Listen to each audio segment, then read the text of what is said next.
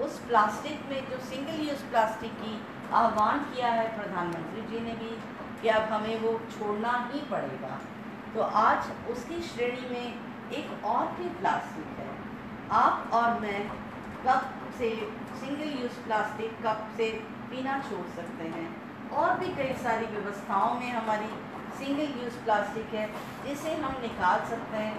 कुछ तो हमारी आदत में है कुछ हमारी ज़रूरत में है, लेकिन एक बहुत ही ज़रूरत की चीज़ है, जो महिलाएँ, जो महिलाओं के लिए है, वो है उनका सैनिटरी नैपकिन और वो सैनिटरी नैपकिन जो है, आज पूर्ण और पूर्ण तरीके से, जितनी जितनी टेक्नोलॉजी से वो बढ़ता जा रहा है इनोवेटिव होता जा रहा है, सुगम होता जा रहा है तो उसमें प्लास्टिक जो है, बढ़ता ही जा रहा है।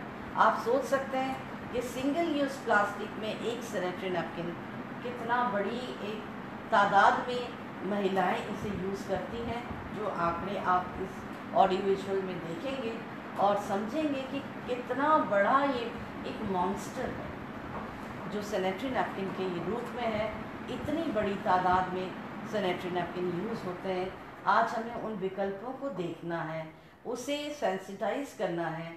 आप भी अपने परिवार में अपनी माताओं, अपनी बहनों, अपनी वाइफ्स अपनी जो भी तरीके से आप इस चीज़ के लिए सेंसिटाइज हो जाएँ और ये बदलाव लाने के लिए कोशिश करें, क्योंकि आज केवल इसे यूज़ तो महिलाएँ करती हैं, लेकिन इसके बदलने के लिए, इसमें हमें जागरूकता लाने के लिए we all are the stake